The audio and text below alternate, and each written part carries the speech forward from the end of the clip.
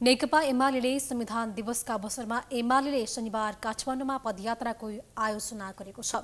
आज बिहान निकालेको पदयात्राको नेतृत्व अध्यक्ष केपी ओलीले गरेका थिए। पदयात्रा बानेश्वर मैतीदेवी लैनचौर कालीमाटी र ललितपुरको कुपनडोलबाट निस्केको थियो। पदयात्रामा एमाले अध्यक्ष ओली वरिष्ठ उपाध्यक्ष ईश्वर पोखरेल महासचिव शङ्कर पोखरेल लगायत शीर्ष नेताको सहभागिता रहेको थियो। यही असोज तिन गतेको संविधान दिवसलाई राष्ट्रव्यापी रूपमा मनाउने र त्यसैका सन्देश त्यसैको सन्देश दिनलाई काठमाडौँ उपत्यकामा पदयात्रा गरिएको एमाले जनाएको छ।